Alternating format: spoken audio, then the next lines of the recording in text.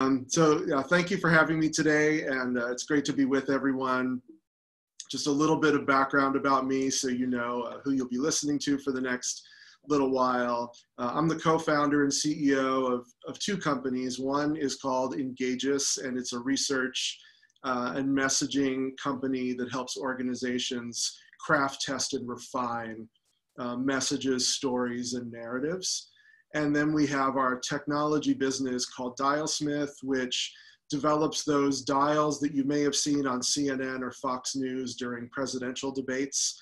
Um, when uh, focus group respondents would watch the debate and dial up for what they like and down for what they don't like. Um, we actually make those dials. So um, you, you may see that or some version of that, of course, coming up in the current presidential debate cycle, but this is going to be a very unique time with much less in-person research happening. So uh, we're not quite sure uh, how things are going to play out this time around. But that's what our two, the two sides of our business um, do. My background is in, uh, I'm not a traditional researcher. My background is in sales, marketing, and communications, largely in the technology space. Um, but I've been working in research now for quite some time, starting in research technology and then moving into more of the behavioral side of it. Um, I'm coming to you today from uh, Portland, Oregon, where I live. I grew up outside of Philly, so um, I, am I'm, I'm right there with my East Coast and West Coast friends. Uh, experienced both sides of the country for for a lot of my life, and um, outside of work, which takes up most of my time, uh, I spend time with my family, and photography is a passion.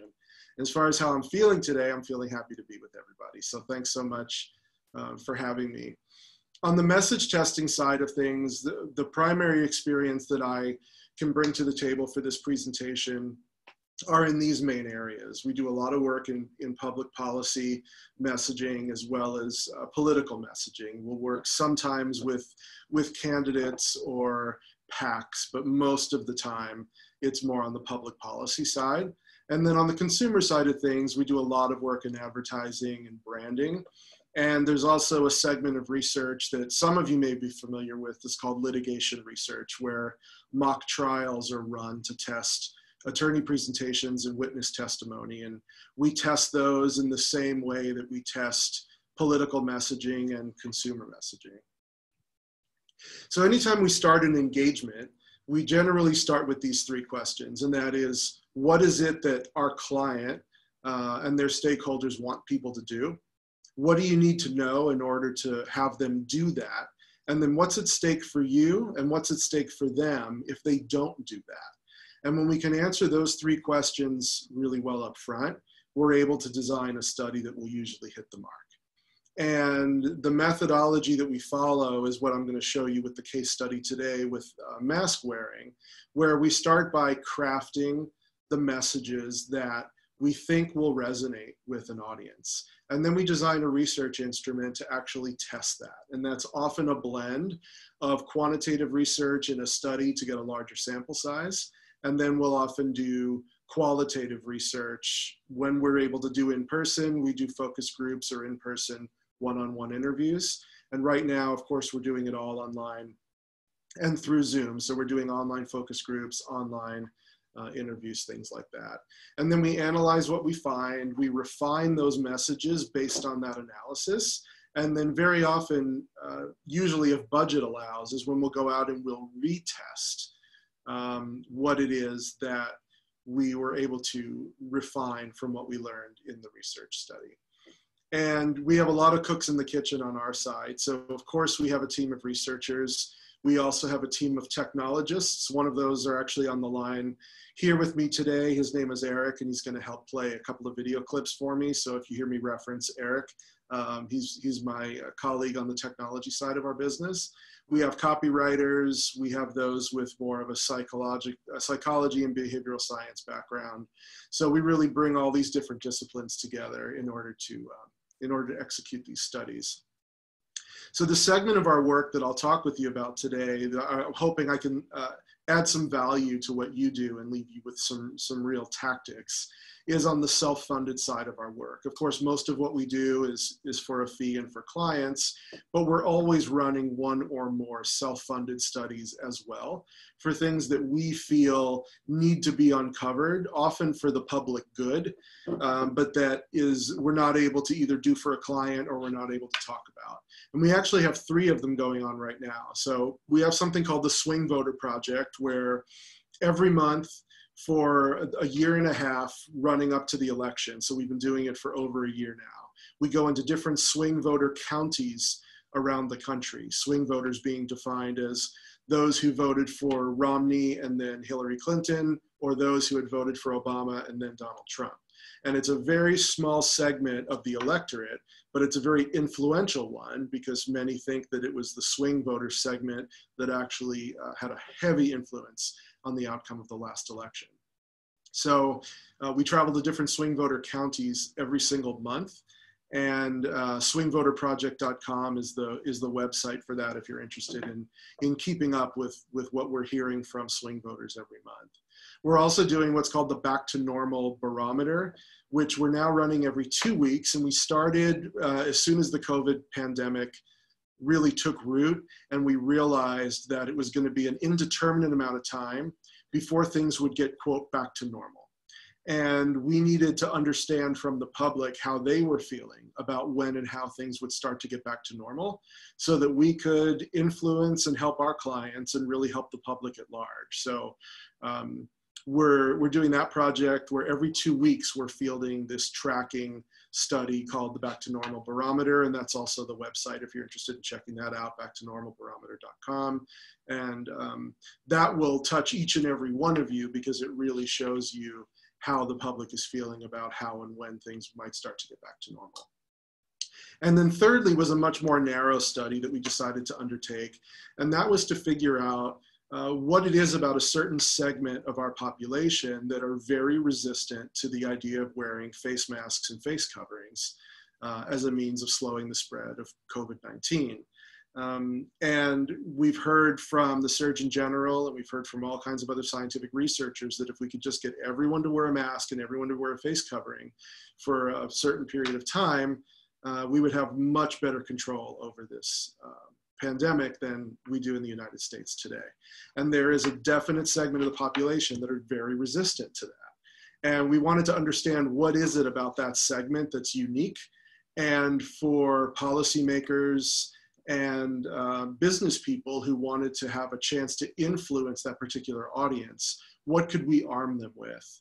Um, language wise in order to possibly be able to influence that group and that population. So that's what the mask study was about, and that's what I'm going to talk with you about today as an example of this kind of work of crafting, testing, and refining messaging, language, and stories in order to influence behavior. So we started the mask messaging study asking ourselves the three what questions that I mentioned earlier. What do we want people to do? This is often a very obvious answer, but it's important to define it crystal clear. We want people to wear masks and face coverings to slow the spread of COVID-19. Um, what do we need to know? We need to know what segment of people are resistant and what will change their minds. And then we need to know what's at stake. And what's at stake is getting the US back to a normal way of life. And in this case, life and death is also um, at stake. So uh, that's why we decided this was a really important study for us, for us to undertake. The methodology that we put together for this study was much like what I talked about earlier. Um, we designed a study up front, a survey where um, we surveyed those who are less likely to wear a face covering. And we crafted two different messages designed to persuade them.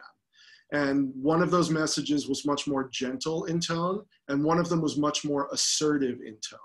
And I'll tell you in a moment how we went about kind of deciding on those two. And then I'm going to play you some very short clips of each of those. They're each about two and a half, three minutes long, and we won't play the whole thing, but I'll give you a couple of clips that are indicative of that. So the more assertive message really takes the very blunt approach of we're in the midst of a pandemic, tens of thousands of Americans are dead. Um, you need to do the right thing. You need to wear a mask. Um, much more assertive, much more in your face, much more dire. The more gentle approach is acknowledging that masks and face coverings are uncomfortable, There's still a lot we don't know about COVID 19. First, we were told not to wear masks, then we were told we should wear masks. How do we know what's right? So it's a much more empathetic uh, approach to see if that would help influence people more than being very blunt and, and alarmist about things. So we don't come at those two ideas um, just by chance. Uh, there are quite a number of principles that we work on here uh, on the Engagious and Dialsmith teams, and they're all rooted in social science, behavioral science, behavioral psychology, and it all kind of bubbles up into what we have created as a framework that we call behavioral storytelling, which is our method of crafting messages and stories based on the irrational or seemingly irrational ways people process information and make decisions. So if you're at all familiar with the um, the discipline of behavioral economics, which uh, was coined by uh, Daniel Kahneman, who is a Nobel Prize winning uh, economist, and he wrote the book that you may have heard of, Thinking Fast and Slow. He really was one of the pioneers that created this discipline known as behavioral economics. And that is how people make financial um, and economic decisions based on how they're thinking and feeling. And one of the principles that he talks about that we used in this particular study, he calls it what you see is all there is. And in this case, talking about uh, a virus is very challenging because you can't see a virus. And therefore, it's much harder for our brains to perceive that it's an actual threat unless we ourselves are sick or we see people or know people who are sick. So, for the vast majority of us who are not sick and who don't have direct people in our lives who are sick, it's harder for us to perceive the fact that this is actually a very real threat because we can't see it.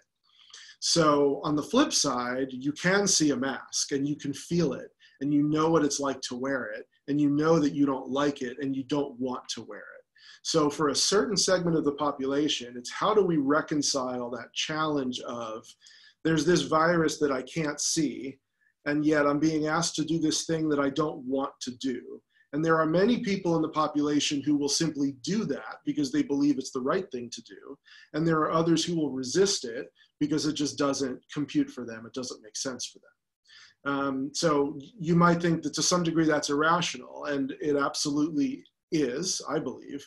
Um, but it's also very human, and it's something that we all deal with and we all encounter. Even if you're someone who who willingly wears a mask in this environment, I guarantee you there are other aspects of your lives where you make incredibly irrational decisions that you're able to justify easily. I know I'm saying that definitively because I know I do it. Uh, I'm sure all the time, probably even more than I'm aware of. So behavioral storytelling really rolls up these two main principles, behavioral economics, which I talked about, which is rooted in these cognitive biases, which are really non-conscious brain shortcuts that we're all hardwired to use when we make decisions. And if you're curious to learn about those, I'm not going to take you through a laundry list of them now. Um, but if you just Google cognitive biases, you'll find articles, you'll find lists. I have a couple of videos where I talk about them in more detail, and I'll be happy to share those um, with uh, the AAF Lubbock team, and they, they can push that out if they'd like. Um, but there are more than 100 of these biases that have been defined as how our brains process information and make decisions. About 10 of them are the most common that we really all wrestle with every day, often not consciously. And then there's narrative economics, which is a newer discipline that really focuses on the stories and narratives that we tell ourselves that help inform the decisions that we make. And a lot of that has to do with self worth and how we perceive ourselves and perceive ourselves relative to others. So when we take what we know about behavioral economics and what we know about narrative economics, we then bubble it up into this framework of behavioral storytelling where we can craft narratives and stories that will persuade and influence. Now, often it's tricky business though, because in this case, um, mask wearing or not mask wearing can often lead to things like shaming. Do I think I'm superior to you because I'm wearing one and there's something wrong with you if you're not? Or do you think less of me or more of me because I'm wearing one and you're not? um, personal freedom, self-reflection, things like that. All of that has to be taken into account when we try to figure out what's that messaging that we can use that will get what we're calling non-wearers to become wearers. So we crafted those messages, two versions of them, assertive and gentle, and then we send them off to our actors. And we have a small team of actors that we use anytime we do a messaging study, where they will then record those messages in front of a neutral background. We use actors because they know how to do it without emotion or with the particular emotion and inflection that we are looking for. Um, and so Eric, if you would, we're going to go ahead and play for you a, a, short snippet of the gentle and assertive versions, just so you can get a feel for the difference. And then I'll start to take you through some of the things that we learned from those. We are in the midst of a global pandemic. Tens of thousands of Americans are dead from a disease spread by tiny droplets from people breathing, talking, sneezing, and coughing. The CDC strongly recommends that everyone wear a cloth face covering in public to protect themselves and others. Some Americans are refusing to do this. They resist being told what to do. But this rule is necessary to protect people and to prevent suffering in the community. Wearing a mask is a sacrifice we all should make for the public good mask when I go out. They're uncomfortable. They make conversation almost impossible, and they hide smiles. What a mask seems to do is help protect the people around me. If I'm jogging around my neighborhood or walking my dog or sitting on the driveway with friends and neighbors, no mask. But in a store, I think a mask is reasonable. You don't know what I might be carrying, and I don't know what you might be carrying. We don't know the vulnerable people in each other's orbit. A mask limits the sharing. There's a lot we still need to learn about COVID 19. Right now, it looks like masks can reduce disease transmission. Maybe that will change as we learn more. Until it does, I'm going to play it safe for other shoppers and hope they'll do the same for me.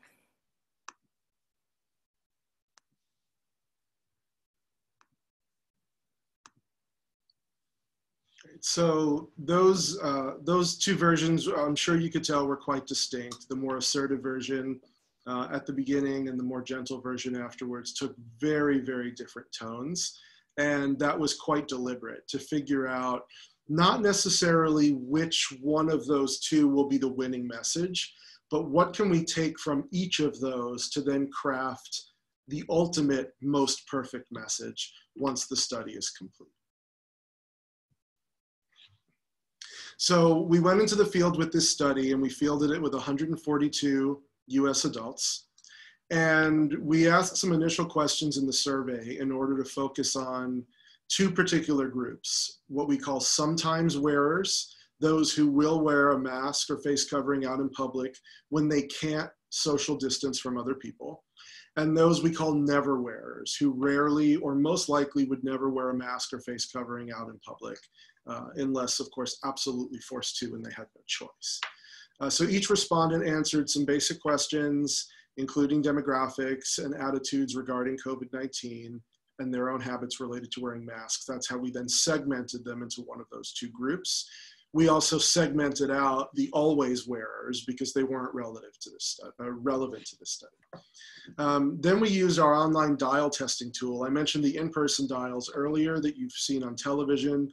And um, we also have an online dial, which we're fortunately able to use right now, where each respondent uh, heard one of those two messages, but not both. So that's called a split sample in research. And the reason being that if we played both messages for someone, they would be influenced by the first one with how they would react to the second one. And while we could um, avoid order bias by randomizing the order of those, uh, we really felt it was more important to just let people hear one message or the other and make sure the sample size was large enough that we can analyze each segment based on each message. And, and that's the methodology that we used. So the more they agreed with what they were hearing, the more they slid their slider up toward 100. The more they disagreed, the more they slid down towards zero. We uh, pull the position of that slider every second, and that's what creates the line chart over the video that you've probably seen on TV. So you can use any number on that scale. And the farther you go in either direction, the more intensity you feel uh, one way or the other. So once we completed all of that, we went into analysis of, of what we found. The never versus sometimes wheres. And the first key attitudinal difference that we found is that the never group are largely skeptics about the reality of the pandemic and more specifically, how wearing a mask would prevent the spread. So even if they are believers in the pandemic itself, which of course is becoming more and more prevalent, whereas earlier on there was more disparity between those who believed and didn't believe. And that, that gap is narrowing tremendously. But there is still a large segment of the population who are not convinced that wearing a mask is going to help at all. And that's the group that we're most looking to influence. Whereas the sometimes group, um, the sometimes group thought that the assertive message was informative, professional, and detailed. The never group were three times more likely to actually find that message arrogant and negative. And I'm going to take you through a few moments of those to actually show you how we dissect individual words and phrases because again we're not trying to decide which of these two messages is the one to go with we're trying to frankenstein together this optimal message based on individual words and phrases and narratives that can then be stitched together into the most perfect message that we can. So I'm going to have Eric play another couple of clip, quick clips for you, and it's going to show you how we see the data that has come in from the dial testing with the lines that trace over the video. And then I'll actually take you into a few moments and we'll kind of dissect some of the things that she was saying.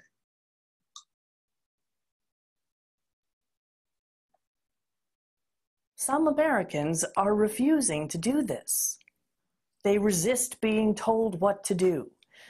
But this rule is necessary to protect people and to prevent suffering in the community. The blue line are sometimes wearers, the red line are never wearers. Wearing a mask helps me keep most of my droplets to myself. If I'm outside and able to keep six feet away from people, then I'm not going to wear a mask. If I'm jogging around my neighborhood or walking my dog or sitting on the driveway with friends and neighbors, no mask. But in a store, I think a mask is reasonable. You don't know what I might be carrying, and I don't know what you might be carrying. We don't know the vulnerable people in each other's orbit. A mask limits the sharing.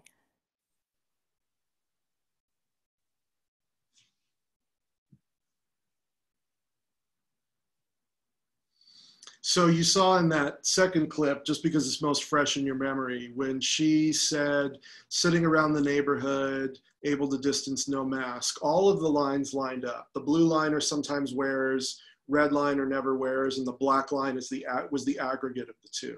And they all lined up when she said that. And then when she started talking about, but in a store, and that's when the lines started to spread. The sometimes wearers were in agreement, and the never wearers began to disagree at that point and that was a diverging a diverging moment so what we then do is we go through all of the messaging on both studies and we start to look for these key inflection points where the two groups begin to differ so in the assertive example um, we saw that things really started to peak out for the sometimes wearers when she said even if you feel fine and don't have any symptoms you can spread it to other people. Whereas shortly after that, the never wearers uh, had one of their lowest rating moments when she said the CDC strongly recommends wearing a mask to help keep droplets out of the air. What we later learned is that's because the CDC at first came out and said, don't wear a mask, it's not going to help you at all. And so the credibility issue there from public officials became glaringly important. But then where the never wears spiked in that third example is where she said some Americans resist being told what to do and uh, are not wearing a mask. And a lot of, of course, the never wearers were feeling that that was applicable to them. Comparing that to the more gentle video, in the first example where the, uh, the never wearers had their second highest peak, She said small sample studies show that wearing a mask won't prevent contracting COVID 19. And again, that maps to what was originally said by the CDC before people were told they should wear a mask. Uh, the never wearers then had their highest peak where she said, if I'm able to social distance or when exercising, no mask is required. And they had their lowest moment when she said, in a store, a mask is reasonable and it limits sharing. And when you take that third point and compare it with the first point, those make sense. They're opposite statements and the reaction was, was opposite. So what we really need to do is figure out how do we take what we've learned here and put that into something that is gonna be helpful in order to influence behavior. So for the never group, um, there were sentiments that resonated well with them from each video, especially in the more gentle video. Um, when she said things like, Americans resist to being told what to do. Masks don't prevent one from getting affected by the virus. Masks shouldn't be worn outside when six feet away. The gentle approach was also rated more sincere and caring by the never wearers. Uh, sometimes and never, they differed in their perception of each video. The sometimes group thought that the assertive, assertive approach was actually informative and professional and detailed, whereas the never group uh, didn't care for it at all. They found it arrogant, they found it negative. Interestingly, the gentle approach was seen equally as caring and sincere in both groups. So we're starting to see that clearly testing the gentle and assertive approaches, we're starting to see that the assertive approach is going to be much less effective to achieving our goal. So historically, um, more active, the sometimes wearers are now less likely to feel comfortable returning to normal activities. And this is a very important point in the whole what's in it for me notion of how people make decisions. So the sometimes group are more active in travel and leisure. They over they also over index uh, in certain regions of the country, uh, age group, and um, education. Attitudinally, the sometimes group is over 50% less likely to be comfortable returning to those normal activities. Um, while half of the never group would prefer that even a store when they go out doesn't require them to wear a mask. So they're prepared to get back to normal and they don't want to be infringed upon having to wear a mask to do so. Um, and these two groups also had a wide gap in their in their attitudes. The never wearers were skeptical about the reality of the pandemic, as I mentioned earlier. That gap is narrowing since we ran this study a number of weeks ago. Um, and while the sometimes wearers are not resistant to wearing a mask, um, it's apparent how these two groups are reacting very differently to this messaging. So we also asked some open-ended questions. We wanted to hear from them in their own words. How do they feel about what they're hearing in these videos? And starting with the never wearers, these are some of the things that we heard. The science is unconfirmed. This is America, we have freedom of choice. Uh, I'm not sick, so I'm not convinced that wearing a mask is gonna help everyone. And we asked them if they could talk with the speaker, what question would they ask of the speaker that wasn't answered for them? So we heard things like, do you believe in freedom? Where do you get your information? Don't try to influence me. That's what we heard from the never wearers. The sometimes wearers said things like, I'll wear a mask when it's necessary. Uh, if it can prevent the spread, I'm all for it. Um, I already wear a mask uh, and um, I may start wearing one even more often. And when we asked what questions would you like to ask that weren't answered for you, they said things like, um, I think she covered everything. I'm all good. Um, how often can a mask be reused? What types of masks are most effective? So uh, the questions that these people wanted to ask is, how do I make what I'm already doing more effective? How do I know I'm doing it right? So again, you can see the disparity between these two groups at times is very, very wide. Um, we also do exercises like this one where we ask them to choose from a list of words that they felt describes the tone of each video. So in this case, we asked the never wearers to describe uh, words that describe the tone of both the assertive and the gentle video. And if you see things like um, uh, the assertive video, they found it to be arrogant. they did find it to be informative. That was encouraging for us.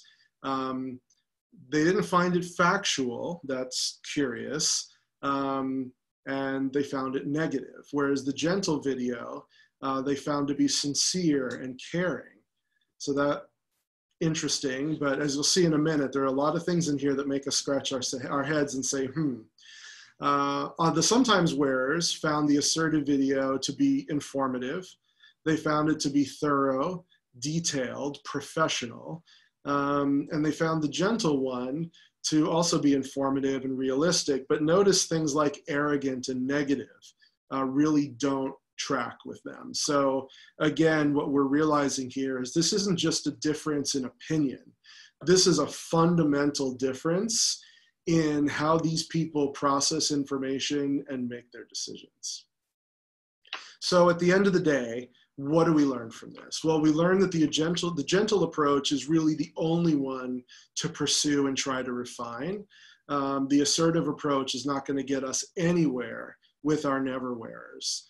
Um, and we have some statistics here that back that up. Of the never group, 35% of them were influenced to wear a mask more often from the gentle approach. And that's really our biggest takeaway. So we know that they're persuadable, we know that they can be influenced. We just have to figure out the right wording and the right phrases that will make that happen. And when that could happen, imagine if we could move 30% of that audience and how many lives that can translate into. So the things that do leave us scratching our heads, because good research often uh, answers some questions but creates others for us, um, is there an is there an ideological uniformity among mask mask never never wearers that we can tap into? Is there something about them ideologically that we can use to unify them around the notion of wearing a mask? Can we explore their reaction to stores posting signs that instead of saying in order to enter you must wear a mask or we refuse service to anyone who doesn't wear a mask what if the messaging was changed to, would you mind wearing a mask or would you please wear a mask? How would that change behavior? Um, regarding the conspiracy theories, what, they, what is it that they fear more than the disease? This is what led us to thinking, okay, now, if we're going to change their minds, we have to know what's in it for them, right? And getting back to normal, ending all of this chaos that's happening right now is what's really important to people. So, what if we could flip it from um, wearing a mask will help slow the spread of the disease to wearing a mask will help speed things getting back to normal, getting people back to work, getting kids back to school. Um, so do we talk more openly about the specific concerns of, of the never wearers as well? The notion that cloth masks don't work. They accumulate more germs and concentrate them. So do we approach those things head on and acknowledge them as opposed to ignoring them? And then finally, like I said, we really ultimately need to decide what's in it for them. And where, where we're now taking this study in future phases is going to be to focus on uh, less on what masks and face coverings do to slow the spread, and instead what they can do to speed our return uh, back to normal. And so with that, I'll say uh, thank you so much for listening. And um, Michael, if we have any questions, I'd love to answer some. Yeah, I'll read. Uh, they're in the chat. So if right now we got two questions and could you access the chat, David, and, uh, and then you could see uh, Paul. Um, we got one from Wink, Griffin Wink um, that says, this is fascinating. How did you choose the participants? Were they compensated? Was the ideal number of participants? Do you think demographics of the actor affected the participant response? Okay, yeah, um, that's an excellent question. So um, because this was purely an online survey, this phase of the study did not include any um, in-person or online interviews. We went through a large online survey of what's called a panel provider. So anytime a mass survey is done, there are these companies called panel providers that we go out to. We give them the specifications of who it is that we want to survey. and they have a database of generally hundreds of thousands of people. So they filter them down to the types of people that we want to hear from, and then they blast out those invitations. Those people are compensated depending on which panel they belong to. They might be compensated with money, they might be compensated with points that they then cash in for goods and services. But yes, they are all compensated to some degree. And um, we settled on that sample size of 142. We were going for 140 to 150. We wanted a minimum of 70 to 75 in each groups uh, to see each video so that we knew we had enough data that we could rely upon. And that's really at the lowest end of what we feel we can get away with. And because we're a smaller company and it's a self-funded study, of course, I'll be transparent that we have to balance how many people do we interview while still making sure that the data that's collected is valid and that 70 to 75 per segment mark is is down is at the lower end of what we find acceptable. So that's that's how we settled on that particular number. Did I answer the whole question, Michael? There, uh, there is a, one more one more portion about um, the actor. Oh, what about her? Uh, does do you believe that the actor can affect participant how the participant responds? I guess whether it's male or female or her inflections on saying the words. Uh, ab- absolutely can. And that's specifically, as I said earlier, that's why we use actors, first of all. And we, we coach them on how it is that we want them to deliver a message. So you'll notice that she delivered the assertive message a little bit more assertively. And the gentle message, she was a little bit softer and more gentle. It's not just the words and phrases, but it's also the body language and how it comes across. I mentioned earlier, we do a lot of litigation research, and that's where it's most glaring how it's not just about the words, how an attorney walks up to a jury box and positions themselves, or how a witness is sitting in a witness box, sitting still versus squirming around. Um, nonverbal communication is so critically important to how messages get conveyed. So it is important that you use the same actor for all the messages in one study because then you otherwise you have a variable you can't control if we were to rerun this study with a different actor, might we get different results? That's definitely possible. And for a larger scale study, when the budget would allow, we would often uh, test it, especially if there is at all a gender or a race or a socioeconomic um, element to the topic that's when it becomes even more important that, that something like that may be undertaken. So that's an astute question and it can often be, often be relevant. Okay, we have another question from uh, Paul. Hey, Paul, Paul Bowles out at, at uh, in Washington. Hey, uh, do you have the ability to uh, sample continuous response signal faster than one second intervals? This could yield interesting data related to slopes of the lines. Mm -hmm. Yeah, it's a great question. In our in our dial testing, we pull once per second. Technically speaking, we can pull as fast as we would choose to. Uh, right now, our technology is designed to do it once per second. Um, but anything is possible in, in software development, as people know. So uh, if the need arose where we needed to be able to pull half second or say quarter second, um, we could. The difference between things like neuro research, where polling down to microseconds can be very relevant, we have to decide with something like dial testing, which is not non conscious. It's very conscious where people are making a decision. Uh, will we get notably different data down at the sub one second mark?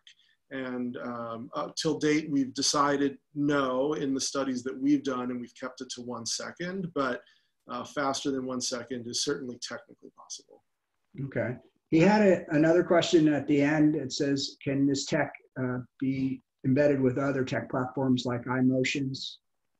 Yeah, absolutely. So we're collecting data, ones and zeros, just like any other tech. So um, we have worked with organizations that, for instance, have done eye tracking as well as dial testing. So people have watched a video on a screen and eye tracking has tracked where they've looked and dial testing has tracked their sentiment. And then you can compare the data together and you can see that not only when she said this did the dials go up, but uh, people were also looking over in this area. That would be more relevant when it's not just an actor, but maybe it's a scene or an ad where they might be looking at a certain part of the ad while something is said, while people reacted negatively. And that then gives us another data point beyond just the words to also see what they're looking at. So yes, the data can be compared with really any other any other data that's collected during those moments and, and can be uh, can be compared and correlated that way. Okay. Uh, anyone else have any other questions? Paul added one more thing on here about time locks. How do you time lock the lines to video? Is there a delay? And yeah, that's a good question. Probably give you a call to talk more about this offline.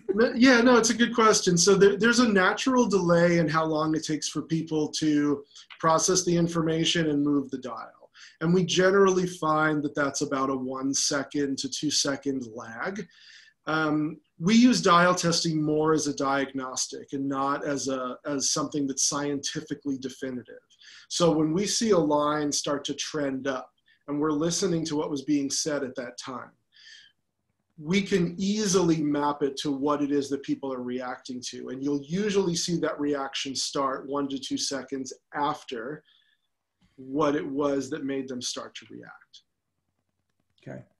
So anyone else? Uh, we I've kind of caught up on the questions that were in the chat already. Does anyone have anything that they want to cover about the study, about the methodology with um, with David Paull?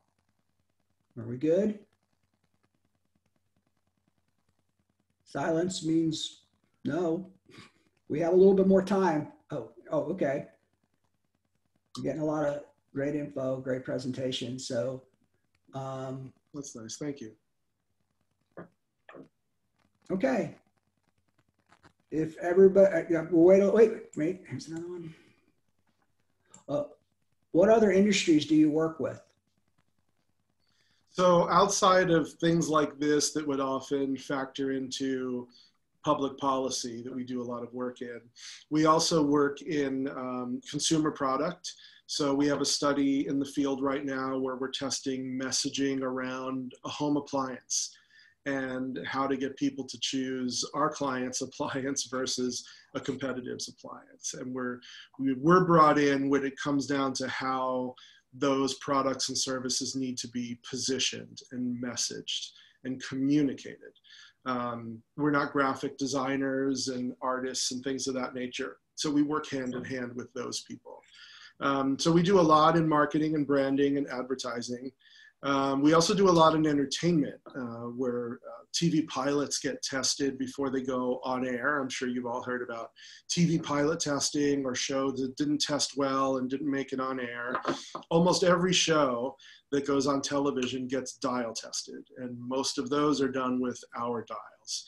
And it's not just the networks now, it's uh, Netflix and Amazon and Hulu and all of them, uh, Disney Plus, Apple, Apple Plus, all of that. So a big part of our business is in um, entertainment. And then, of course, advertising, branding, marketing, public policy, and some politics. Okay.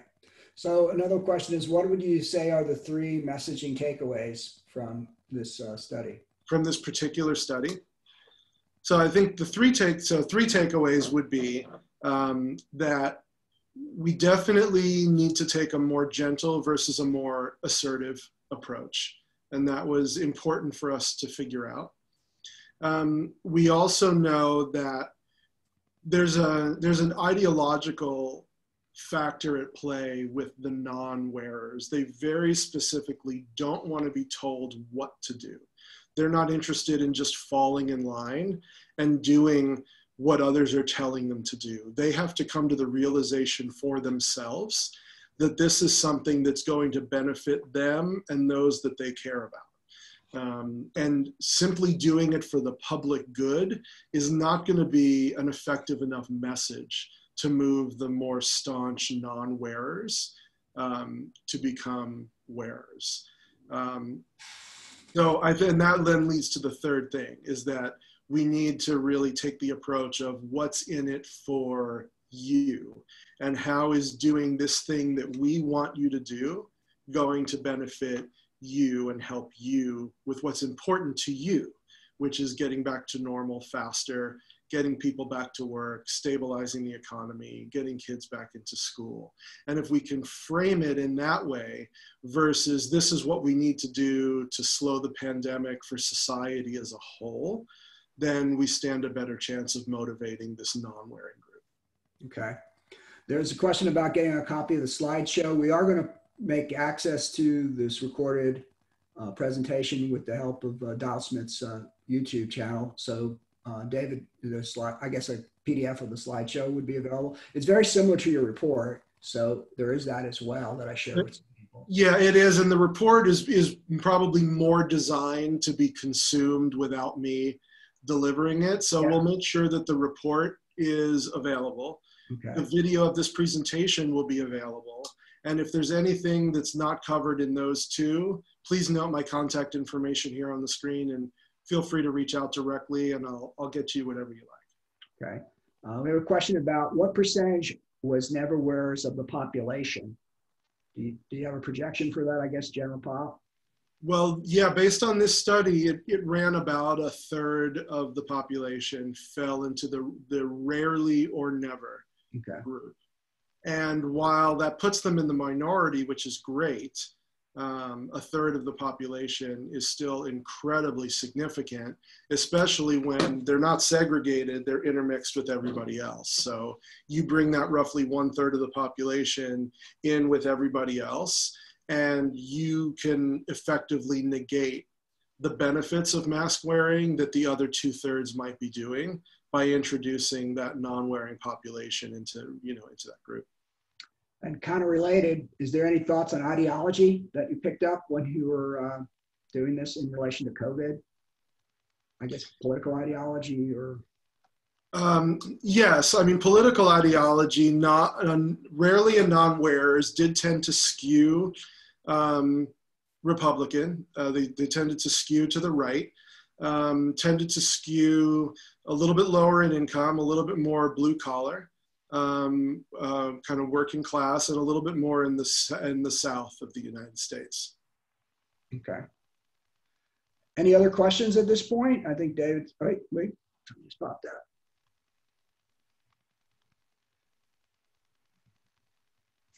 Kind of more of a. Uh, why do you think that ideology has played such a big role in a public health issue? Mm, well, I think it so much frames the way we think about and how we feel about so many areas of our lives. And if you really start to dissect how these groups differ, probably to even a greater degree than we dissected here, you're going to start to find more disparity in those who have health insurance and those who are at a certain income level where they're comfortable taking care of their health, even on their own to a certain degree. Um, you've got a, you've got people who can work from home or work remotely and have been less affected by this. And then you've got those who have to physically go to work somewhere uh, who can be even more impacted by this. So as you start to break down the different segments of the population, you start to get into what are the specific things that are directly impacting those people. And then that is what really starts to frame how they think and feel about things. Okay. Well, we have no more questions at this point. Uh, we got nine minutes left, but if we're done, I want to, one more shout out, no questions. I'm going to say thank you so much to David Paull for the presentation. Really great. Appreciate you spending the time with us. And uh, again, as David indicated, if you have um, you know, stuff that you want to talk directly to him, his his contacts there, and he's invited you know you to, to reach out to him. Uh, watch for the uh, we'll be sending out AF will to people who are interested a link to the recording if you want to use the recording for something. Uh, we're going to work with um, David's company to post it on their YouTube channel for now and, and probably have a link from AF, AAF Lubbock resources to it. Uh, and that's it. Thanks so much, David. It was great, interesting, well done. Really enjoyed it. My pleasure. Thank you so much for having me and to everyone who took time to attend. I really do appreciate it. All right. Well, that's all we have for now. Thanks for joining us uh, this month. Uh, we're working on our next speaker for next month. Uh, again, uh, we're planning to, if we do it, as we will be planning to do it as a, uh, um, a Zoom, uh, we'll again continue to make it complimentary to those who wish to attend that are outside of our current membership. But you should look into being a member. If you're interested, please reach out to us and we'll, we'll get you some information on how to join the AF Lubbock chapter. That's the commercial. So we're done. Thank you so much, David. Thank you for everyone else for attending. Uh, Cindy or Janice, do you have anything you want to add before we sign off? No, not at all. Just to say thanks, David, and and I'll let Janice talk here too as well. But thanks so much, David and Eric, for you know spending almost two hours of your day with us and providing this really interesting and compelling information. And I will definitely be reaching out to both of you uh, to get more from you. I really appreciate that invitation. Absolutely, more than happy to do it, and um, hopefully there are some takeaways that people can can uh, deploy in their work right away. And thank you so much, guys. Uh, we really appreciate you taking your time, and thanks to all of the people that came uh, to watch this presentation. We appreciate all of you too. So that's that's all I've got. Great. Okay. Cindy, we can say goodbye. Hmm. Bye. See ya. Bye, Thanks. everyone. Thank you.